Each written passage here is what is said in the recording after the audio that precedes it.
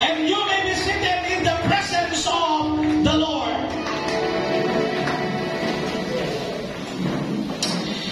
In the Bible, in the Bible, anytime you see isang tambak mga kapatid ng mga bato, tatlo apat na ibig sabihin kapag meron kang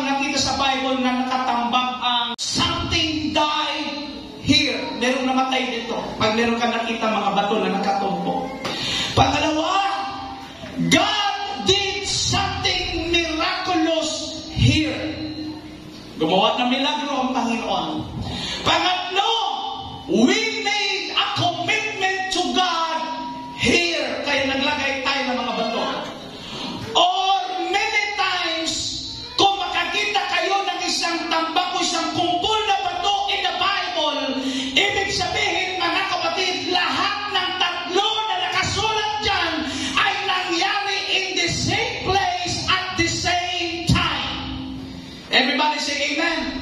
Hindi at managal magmangaral kayo dahil meron tayong explore mamaya mga kapatid. But listen carefully para makuha yung salita ng Panginoon na oh, napakasimple. So nangyari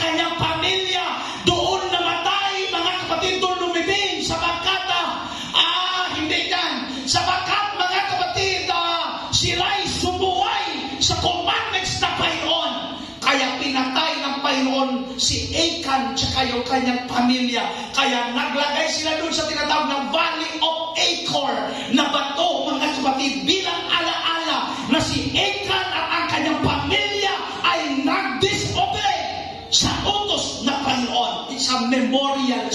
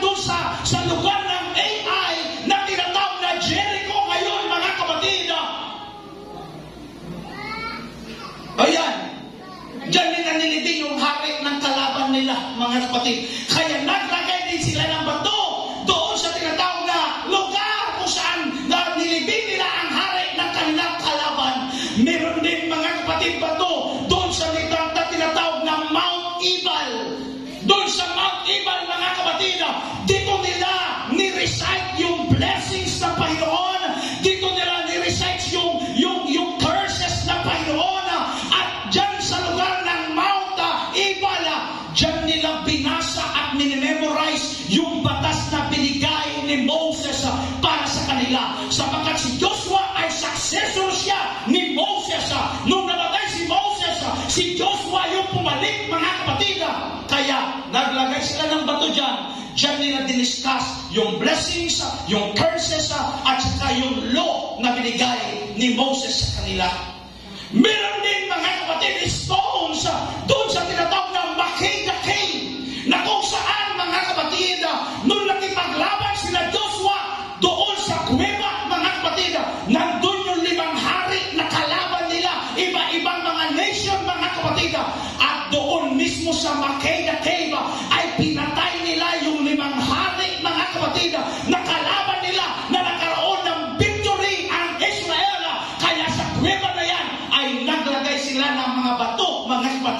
na sinyales na sila'y nagtagumpay laban sa limang hari, mga kapatid. But finally, si Moses ay naglagaran na mga kapatid ng isang uh, altar in the book of Joshua na isang napakalaking bato mga kapatid uh, doon sa tinatawag na Joshua chapter 24 verse 27 uh, na binasa natin mga kapatid na ang sabi And Joshua said unto all the people,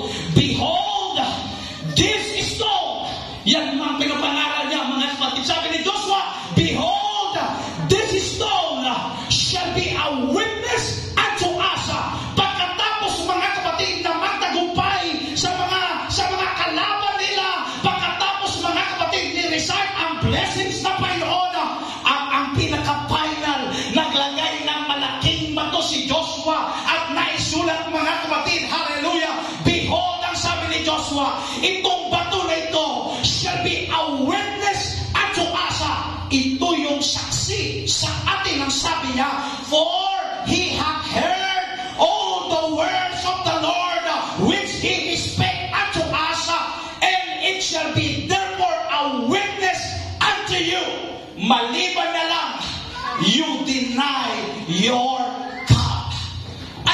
ibig sabihin, Joshua?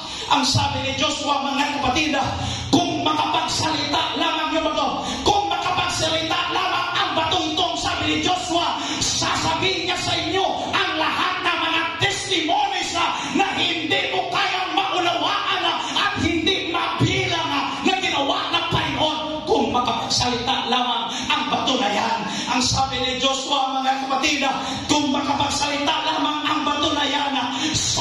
niya kung paano kayo iniligtas ng maraming mga tao mula doon sa lugar ng Ehipto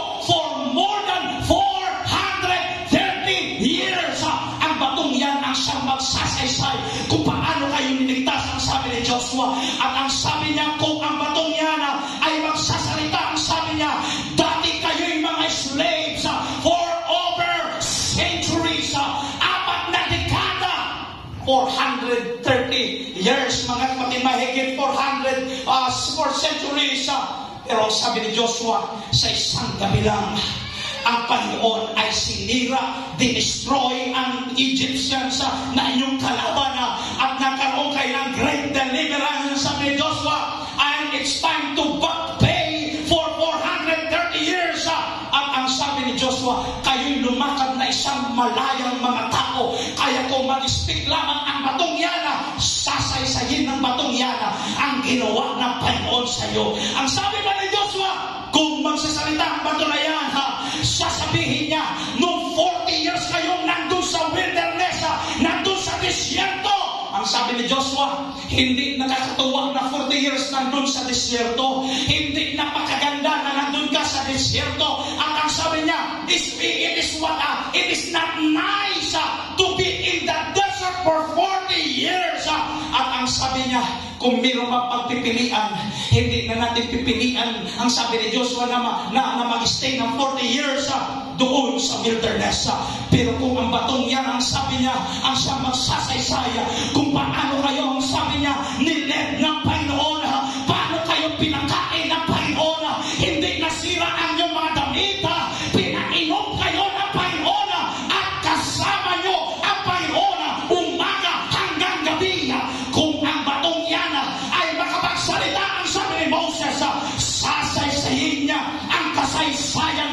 ginawa ng Panginoon para sa inyo.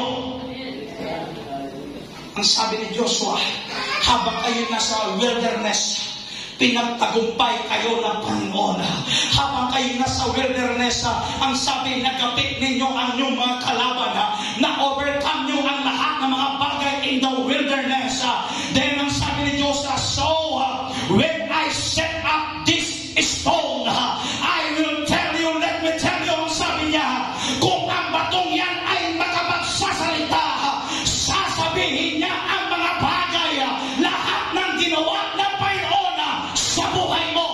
sabi ni Joshua, And I stand here today in the midst of you mga kapatid Torah Church. Kung ang mga pader na yan, mga walls natin sa church na yan ah, ay makapagsalita mga kapatid. ah, Ang mga pader na nandito sa atin ah, ang siyang magsasaysay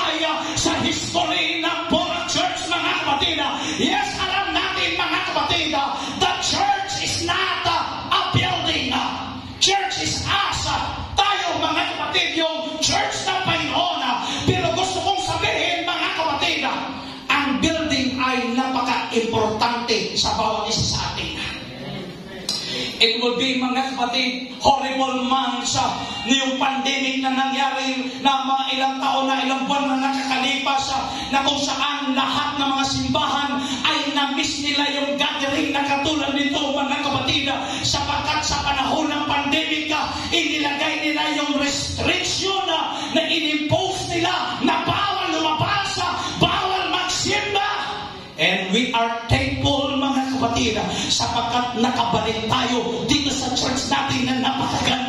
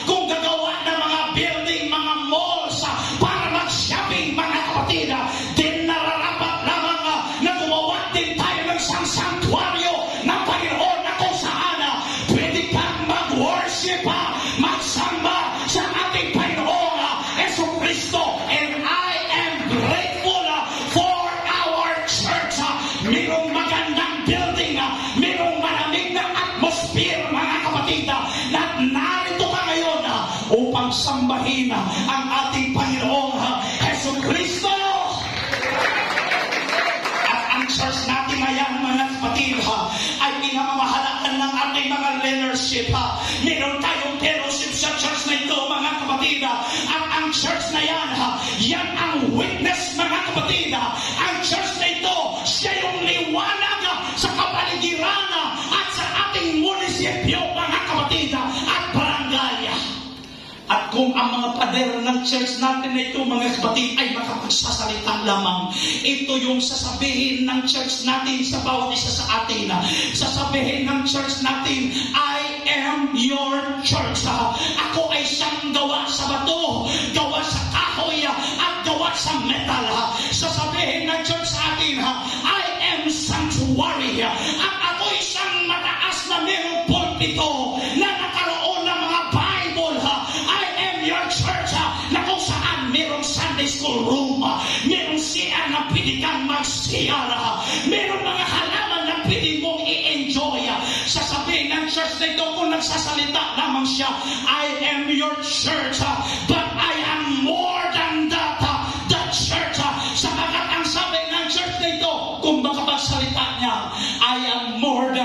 church ha. because the family of God is measured in saints. ha. Dito minimeasure mga kapatid sinusukat na tayo ay isang saints na Panginoon. Sa church na ito mga kapatid, ang buhay na pamilya, ang future ng bawat isa sa atin, ang kaligtasan mga kapatid ng bawat isa, at yung pagbabago sa pamamagitan ng pangangaral at kapangyarihan ng Panginoon church nangyari. That's why if the walls of this church talk mga kapatid, ha, sasabihin niya kung paano ka binago, paano ka pinagpala ng Panginoon. Sasabihin ng church na ito mga kapatid na kung saan kung sino ang mga nag-pray, sino ang nagbigay, sino ang nag-worship, sino mga kapatid, hallelujah, ang laging pumupunta sa iglesia ng Panginoon. Dito tayo nagtatawanan. Dito tayo nagkakainan mga kapatid. Dito merong tayong pagsasayawan. Merong altar mga kapatid. Dito tayo umiiyak. Dito mga kapatid tayo nagsasaya. At yung mga tao pumasok dito katulad nyo ay iniligtas din ng ating Panginoon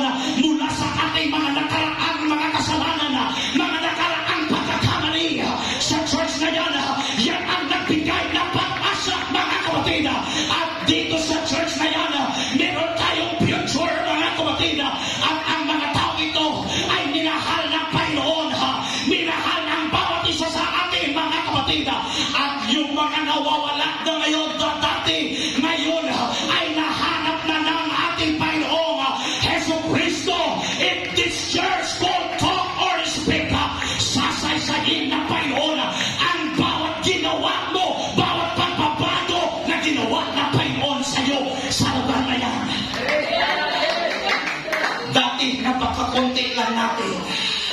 At lumipas ang mga taon, mga kapatid. Mayroong mga babae at lalaki, mga kapatid, na naramdaman nila yung tawag ng Panginoon sa buhay nila. Sa pamamagitan, mga kapatid, ng isang mensahe na mayroong iisang Diyos, mga kapatid, na kahit ano man ang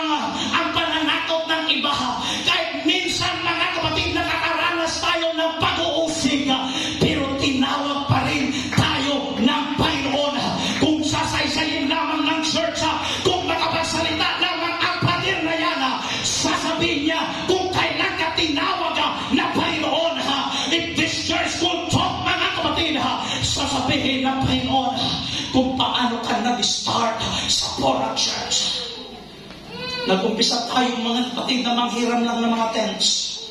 Nag-umpisa po tayo mga kapatid, hallelujah, na, na makisilong lang sa, sa mga lupa ng ating mga kapatiran, mga kapatid.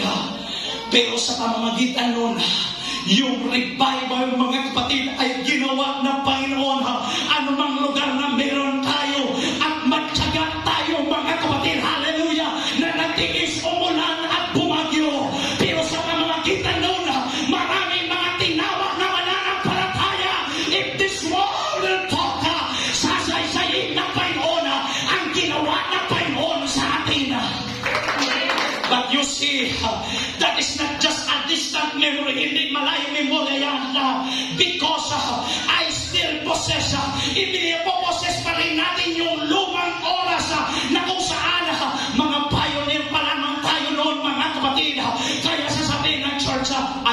your church.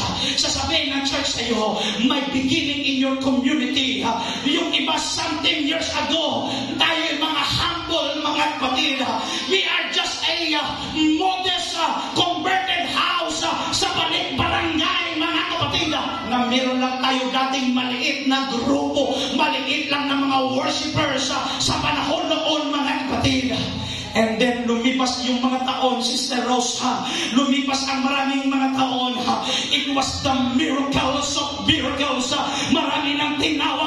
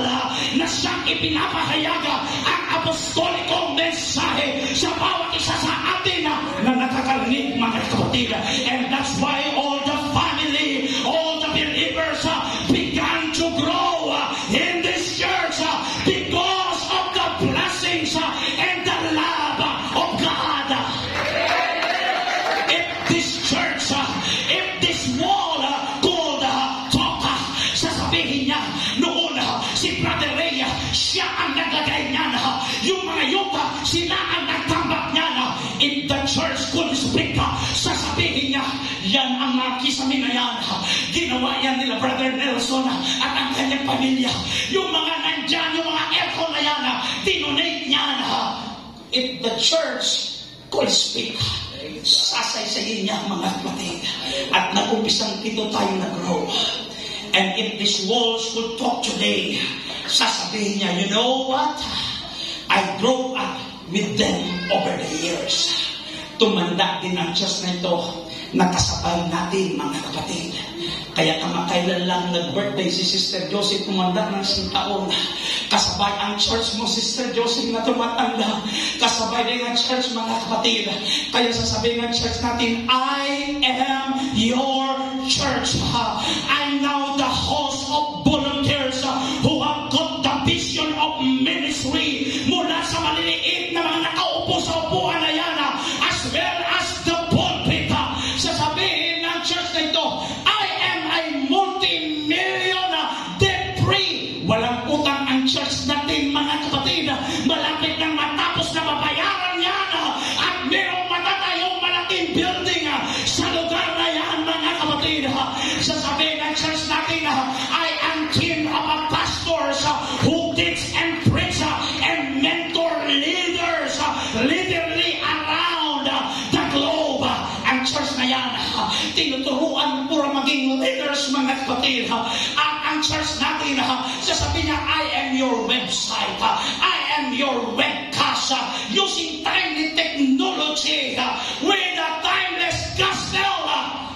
pamamagitan ng ating page, mga kapatid ng internet na nanonood sa panahon natin ngayon sa oras na ito, sa pamamagitan niyan, maraming mga tinatawag mga kapatid.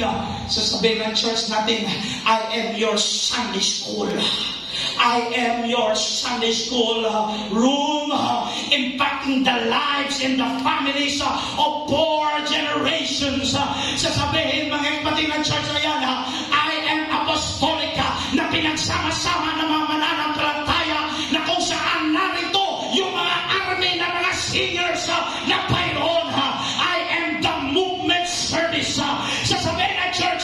dito kumikilos ang presensya ng Panginoon. Dito nararamdaman mo ang presence ng Panginoon. Dito napupuspos ka ng biyong banal na Espiritu Santo. I am families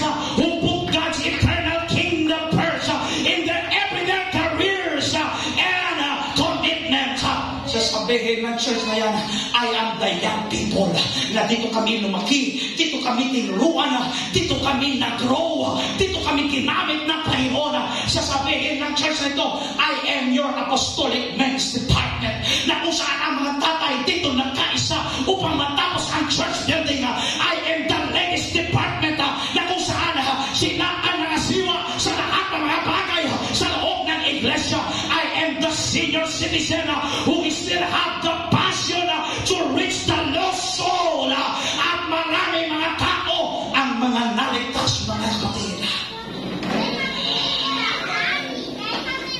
Our church has grown up over the years, but many things remain the same.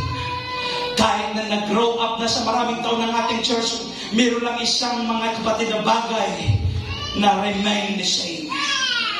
Kung ang mga words na yan ay magsasalita lamang, sasabihin niya mga kapatid, ako'y masayang masaya sa pagpupuri, I am still apostolic in doctrine.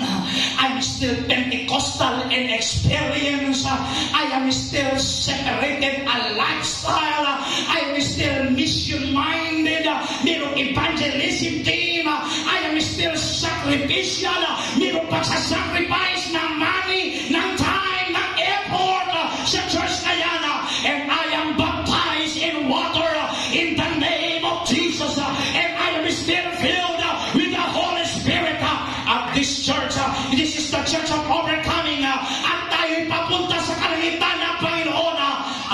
still love with Jesus. Uh, and I'm still preaching the powerful uh, message uh, that unlocks the shadows of sin from the lives of man and woman as they are born again. Kaya dito tayo nagbabago mga kapatid. At tingnan mo yung katabi. Tingnan mo ang bawat sa ating mga kapatid. If you listen close, you can hear the walls talking in our midst. Sasabihin niya, I am 17 years plus of history. At meron pa man, merong legacy of service, merong legacy of sacrifice, merong preaching, merong teaching, merong giving, and going in the church. At lahat ng yan ay inilagay sa isa mga kapatid at mayroong pag-asa at pangako sapagkat sasabihin ng church nito ng world na ito, I am you, your church. Joshua said in 24-27, Behold, this stone shall be a witness unto us because this rock has heard all the words of the Lord which He spake unto us. Ang mga walls ng church natin na ito, siya ang mag-e-echo, mga kapatid, with the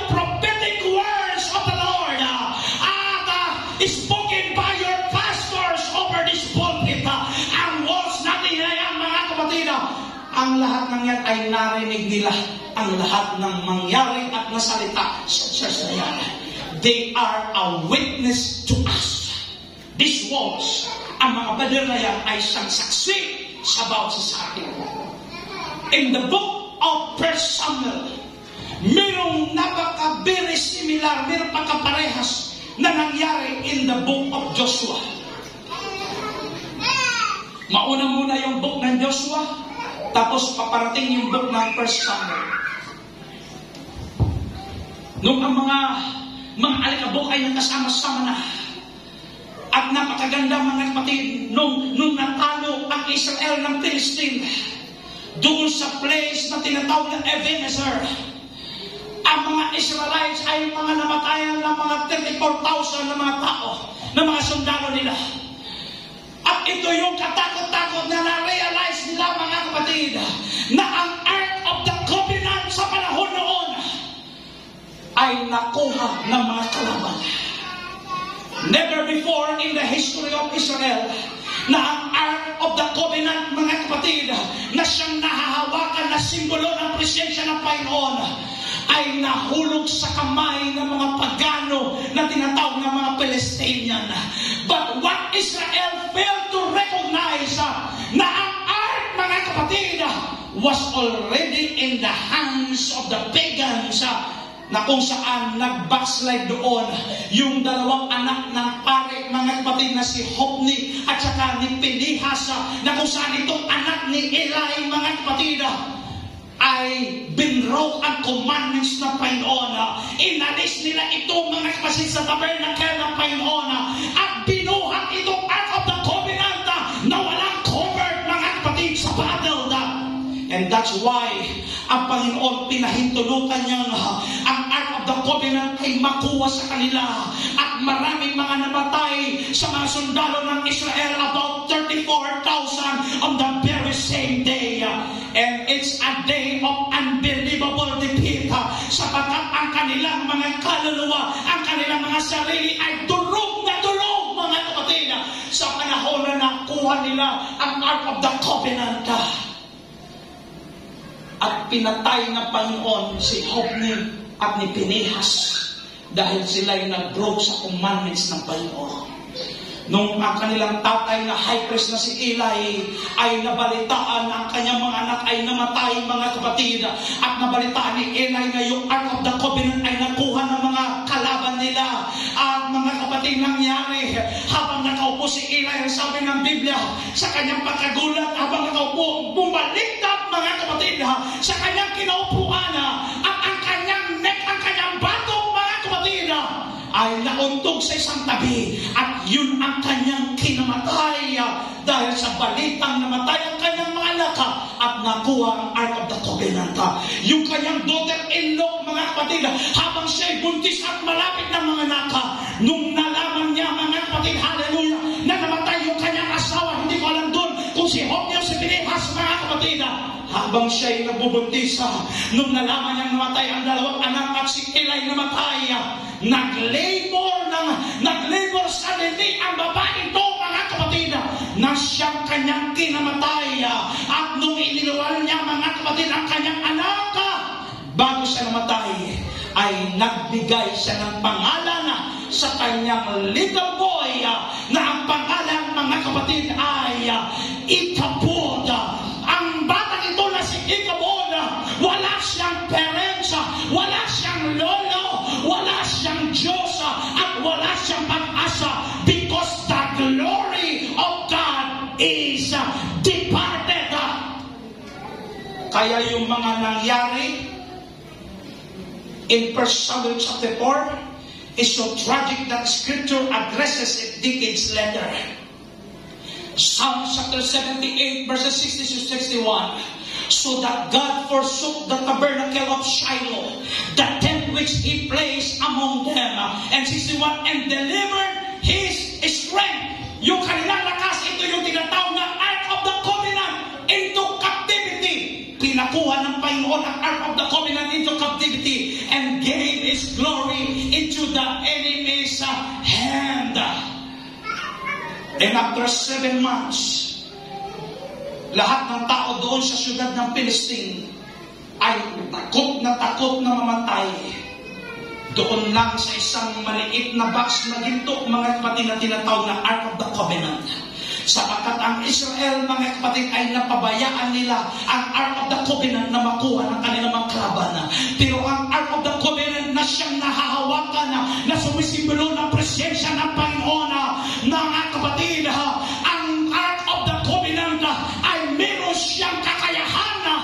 na pangalagaan ang kanyang sarili kahit wala ang Israel mga kapatid.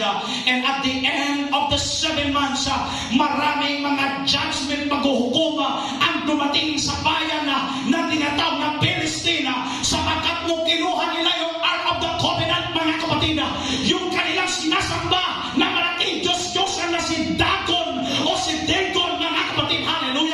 pinagharap-harap pa naman nila si Dagon at saka yung Ark of the Covenant, ah, mga kapatid, nung sila'y nagharapan, sinarado parang pinag-wrestling yung dalawa, sinarado yung pintuan, ah, nung kinaumagahan, mga kapatid, ah, bumalik ang mga Palestinian doon sa templo nila. At nakita nila yung kanilang Diyos-Diyos na si Dagon ay nakaluhod doon sa Ark of the Covenant, mga kapatid, at ginawa ng Palestina, inayos muli nila, mga kapatid, si Dagon, at kapatid, pinagharap muli ang Ark of the Covenant ng Panginoon. Sinarado ang pinto, mga kapatid. Kinamagahan pumunta ang mga Palestinian.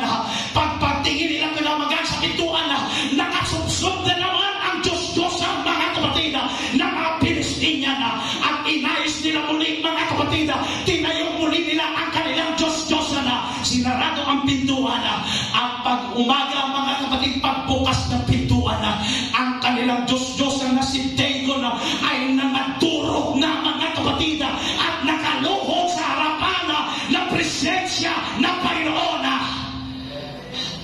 Sapagkat ang presensya ng Panginoon, kahit wala ang pangangalaga ng mga Israel, ay kayang i-take care ng Panginoon ang kanyang Ark of the Covenant.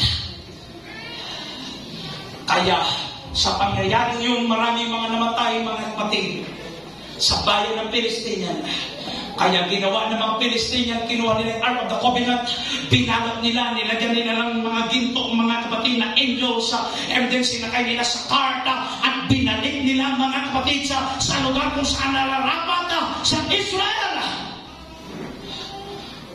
At lumipas ang mga taon, mga kapatid, nung ang Ark of the Covenant ay na-restore na mula doon sa tamang kinalalagyan, si Prophet Samuel ay nag-lead ng isang prayer meeting sa isang bansang Israel. Lahat ng nag-prayer meeting, magsabing Amen. Lahat ng hindi nag-prayer meeting, huwag kayong mag-Amen. Kilala ko kayo. Si Samuel ay nag-set na prayer meeting sa buong bansa. At habang sila'y nagpe-prayer meeting, mga kapatid, yung mga kalaban ng Palestinian ay palusog sila, mga kapatid, sa bayan ng Israel. Pero yung Israel nagpe-prayer meeting sila. Alam niyo ginawa ng Panginoon, pinagpapatay,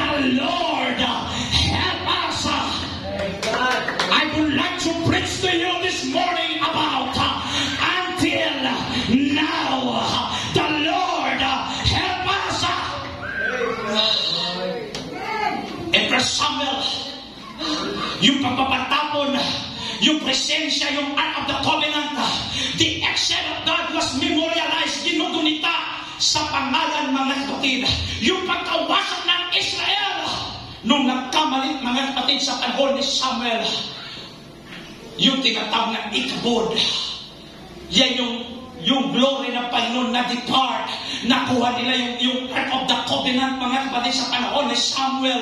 Nakuha yan, mga kapatid. Hallelujah. But uh, in 1 Samuel, uh, the victory of God, ginunita nila. Naglagay sila ng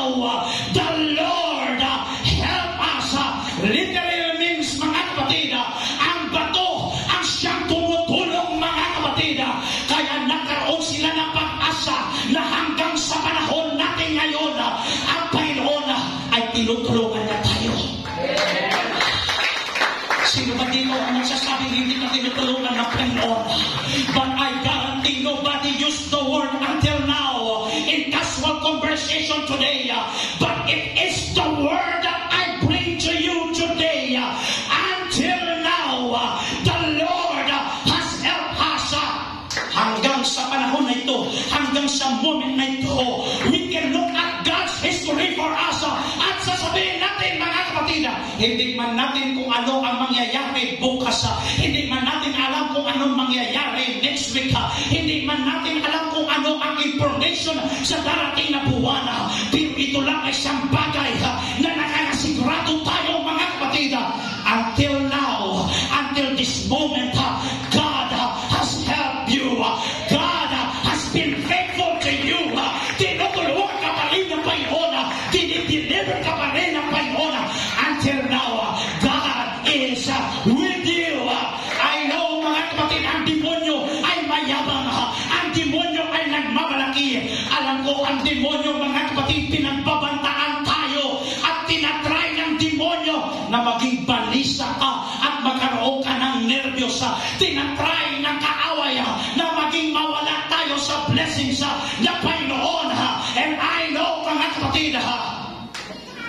But you need to look him eye to eye at sabihin mo sa demonyo, hindi ko man masabi kung ano ang bukas. Hindi ko man masabi ang mga bagay sa mga susunod na panahon. Pero isa lang ang pwede natin sabihin sa kaaway, until right now, our God has been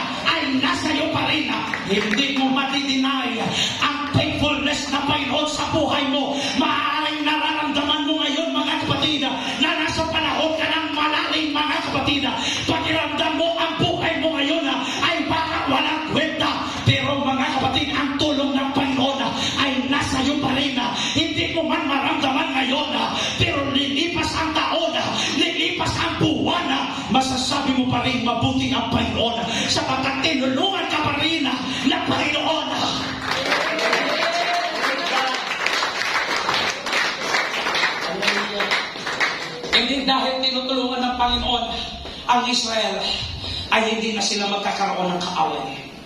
Hindi dahil tinutulungan ng Panginoon ng Israel ay hindi na sila magkakaroon ng battle to fight.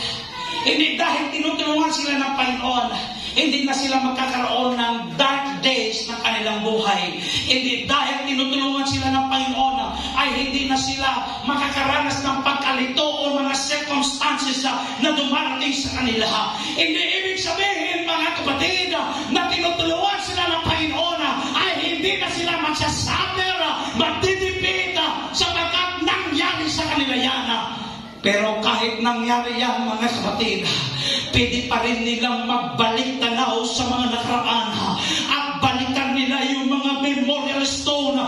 kanilang itinayo mga kapatid. ha, At ang batong iyan ay tinatawag na Ebenezer na ang ibig sabihin until now, the Lord ha, has helped us.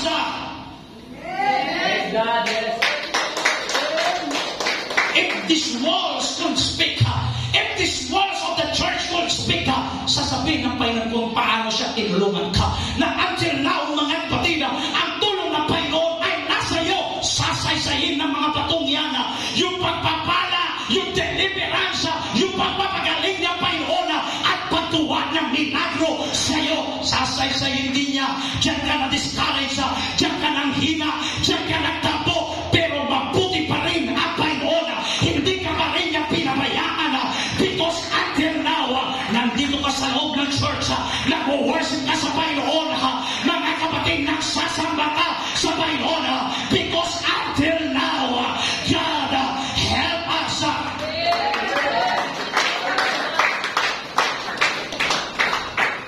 ang batong tinawag na Ebenezer ay meron pang mas higit sa bato na yan, mga kapatid, na meron din tayo sa panahon natin ngayon.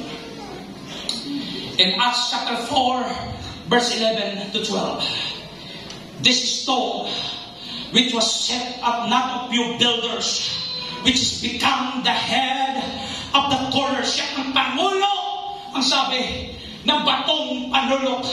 At ang sabi mga kapatid na nakasigit pa sa batong Ebenezer. In verse 12, ang sabi niya, ha, walang ibang pangalan ha, na masusukat mga kapatid under the heaven na, na ibinigay sa atin ha, na siyang ating ikakaligtas ha. At ang batong iyan mga kapatid ha, ay higit pa sa batong sinet ni Samuel ha. Ang batong iyan ha, ay higit pa sa inilagay na bato ni Joshua mga kapatid ha. At ang bato na yan ang sabi ng Biblia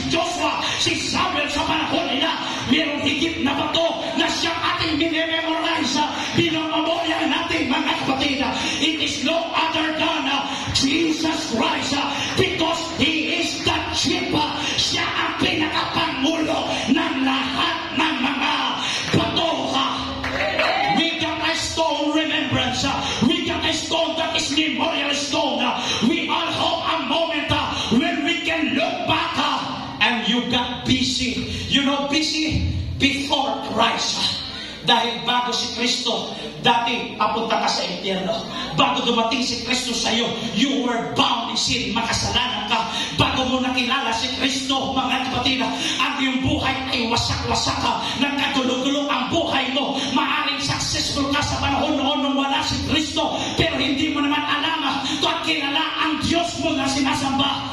Pero ngayon, mga kapatid, the Bible says, uh, says in Ephesians, uh, you, you, you, you are not strangers, uh, you are not foreigners, uh, because we are welcome into the family of God. uh. At ang ating buhay ngayon, ang sabi ng Biblia, ay uh, naka, naka-build, uh, hindi sa, hindi sa buhangin, mga kapatid, uh, na nasisira mawasak, mga kapatid.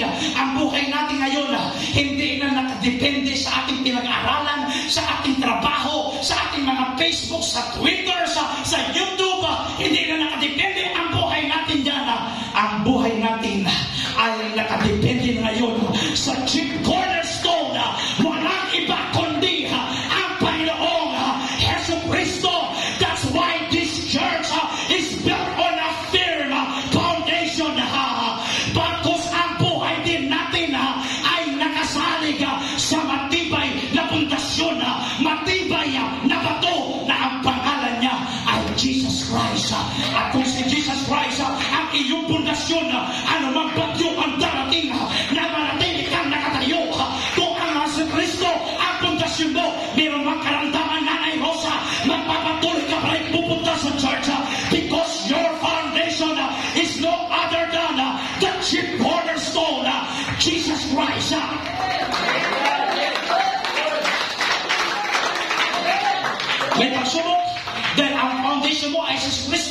Diretso pa rin.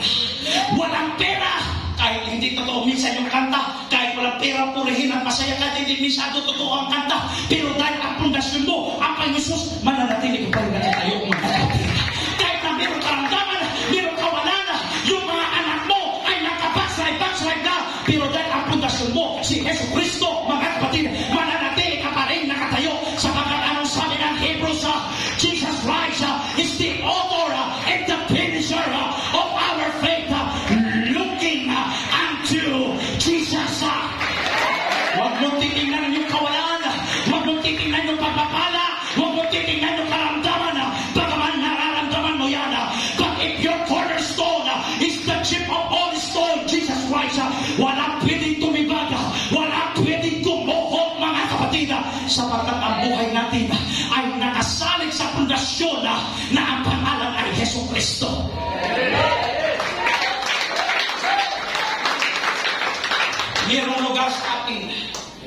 na kung saan ang kasalanan dati ang siyang gumagapi sa atin.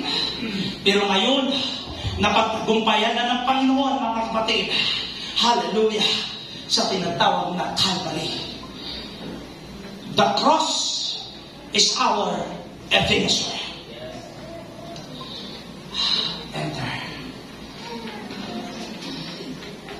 Dati, mawasakin tayo ng kasalanan. Pero nung bumaba ang ating Panginoon na pagtagumpayan na niya ito sa Calvary, kaya yung, yung cross, mga kapatid, na pinagpako niya, ang tawag dito, mga kapatid, is our evidencer. The Lord had us until now. Because God took His glory so seriously na mismo ang kanyang sarili, tinanggap niya yung punishment Nung tayo'y nahulog mga kapatid sa kalwalhatian ng Panginoon. Kaya anong sabi ng Romans, wala, for all have sinned and come short of the glory of the Lord. Kaya ang Panginoon, nung nahulog tayo sa, sa, sa, sa, sa, sa glory ng Panginoon, mismo siya ang tumanggap ng punishment, mga kapatid. Binaba niya yung sarili niya at pinatawad tayo ng Panginoon. Pinatawad niya lahat ng pagkakamalit natin. Ha? Inalis ng Panginoon, mga kapatid, hallelujah, yung mga, mga kapintasan natin ha? na hindi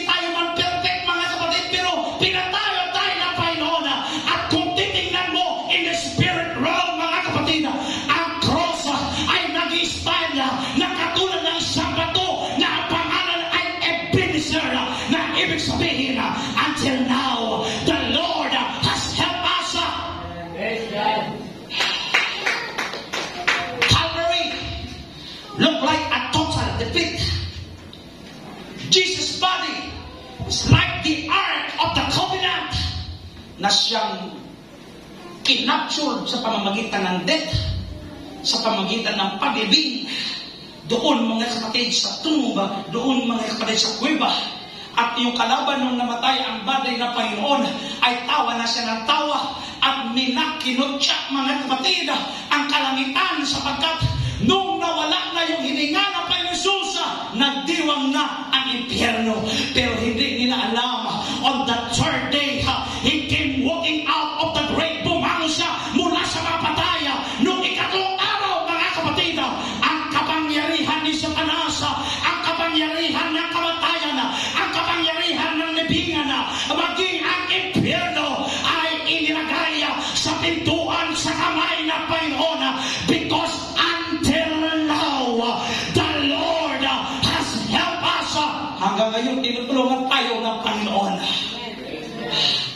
Pwede bang itas natin ating mga kamay this morning and manifest the presence of the Lord?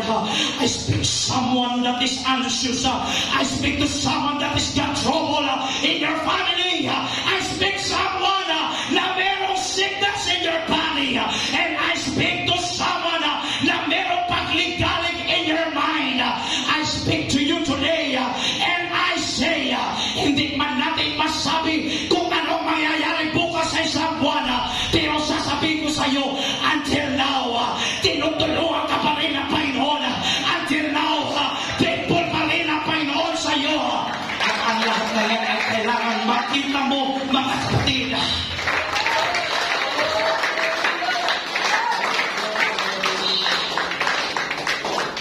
In the generation na sumunod kay Samuel. There was a young boy, a young ruler, a man after God's own heart. At ang kanyang humility, mga kapatid, ang pangalan niya ay David. And David prayed this prayer. First Chronicles 17:16. This is the prayer after Samuel mayroong tinatawag na David. First Chronicles 17:16. And David the king came and stood before the Lord and said, Who I am, Lord. What is mine house that the house brought me until now? Nag-pray ni David? Nasabi mo na ba sa Panginoon, Lord, who am I? Sino ba ako, Lord? Sabi ni David, nothing is special to me. But 8 billion people on this planet. And here you are in the church. Naging mabuti ang Panginoon sa iyo, brothers and sisters. At wala tayong ka-idea-idea kung gaano kabuti ang Panginoon sa atin. But David said, O Lord God,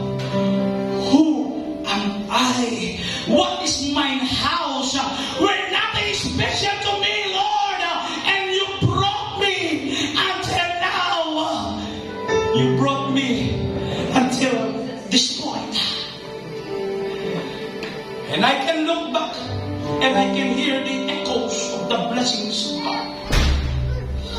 Sometimes, mga kapatid bilang pastor, nagmumuni-muni ako mga kapatid. And I watch all of you worshiping the Lord. Nandito kayo sa church, mga kapatid.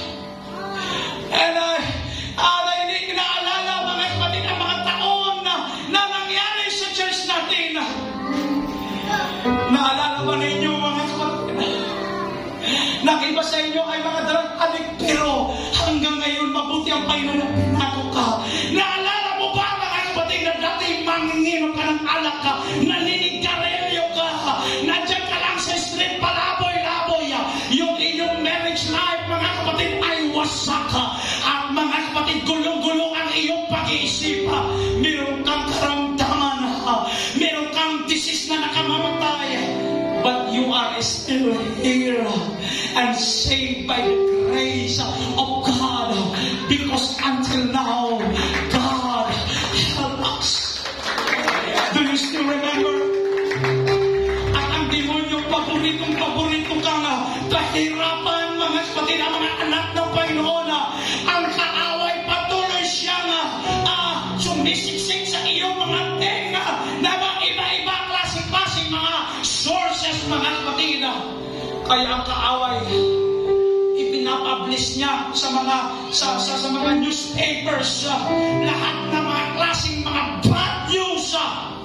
ang kaaway inapublish niya lahat ng uri ng istorya statistics, surveys ah, lahat ng pag-aaral at kung mababasa mo lahat ng hindi magagandang balita, including in your Facebook, in your Twitter, in your Messenger, you are going to be paranoid Pentecostal people.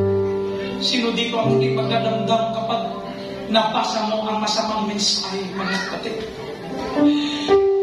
Magkakaroon ng pagkulot-kulot ang iyong buhay.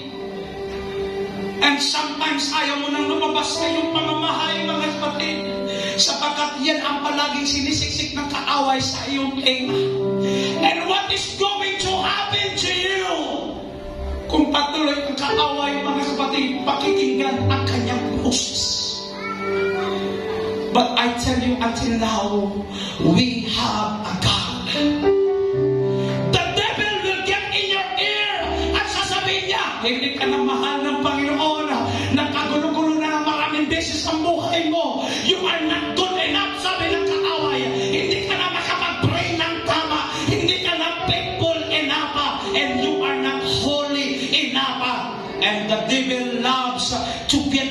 ear at gagawin niya, tutuyuin ka niya, itutorment ka niya, pahihirapan ka niya. At gustong-gusto niyang gawin yan, mga kapatid. But when he does, kapag ginagawa niya yan, mga kapatid, you need to turn around sa kanya at sabihin mo, you know what?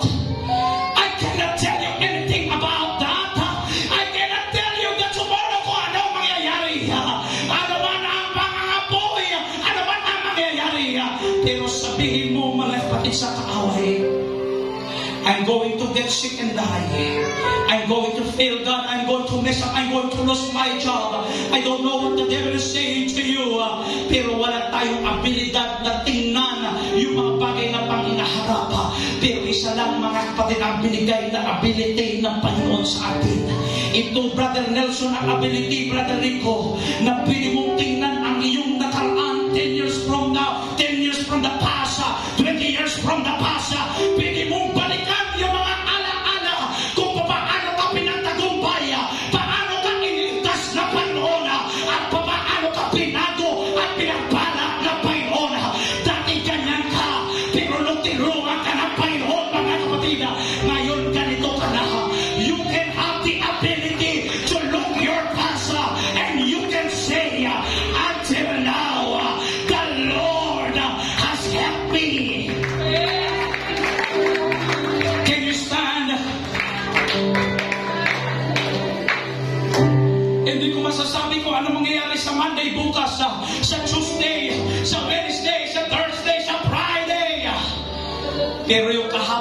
Saturday, yung nakaraang Friday na prayer meeting, I can tell you mga kapatid kung anong ginawa ng Panginoon sa buhay mo. Anong ginawa until now? Inihinga mo mga kapatid ang hininga ng Panginoon. Until now, nakakakain ka ng tatlong beses kahit sarap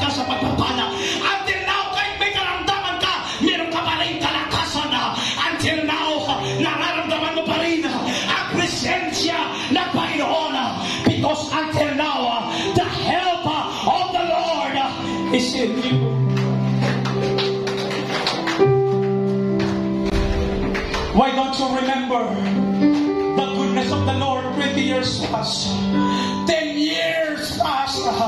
Why don't you remember binata ka pa noon, bata ka pa, dalaga ka pa noon, ngayon may asawa at anak ka na. But until now, the Lord has been faithful to you.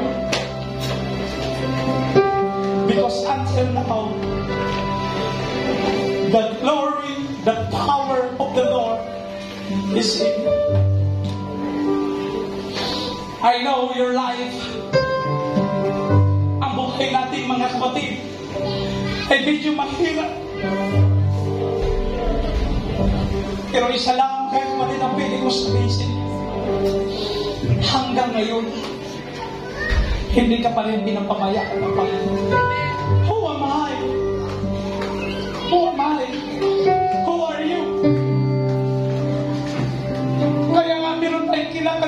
A friend of God. Who am I that you are faithful for me? That you love me when I call. Who am I that you are mindful of me? Bakit lagi kang iniisip ng Panginoon? Because until now, the Lord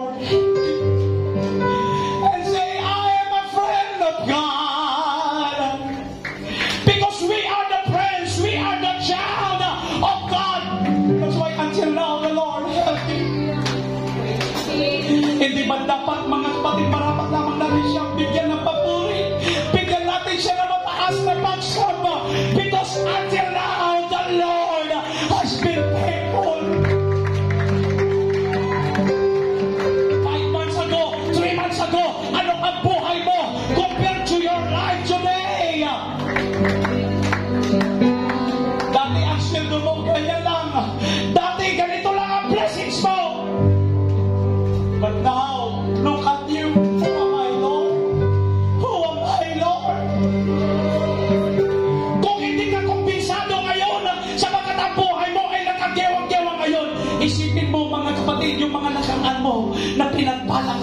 maging mabuti Panginoon ngayon. Hanggang ngayon, mabuti pa rin ang Panginoon. Hallelujah, hallelujah. Lift up your hands and remember the memorial stone, which is the chief cornerstone, no other than Jesus Christ.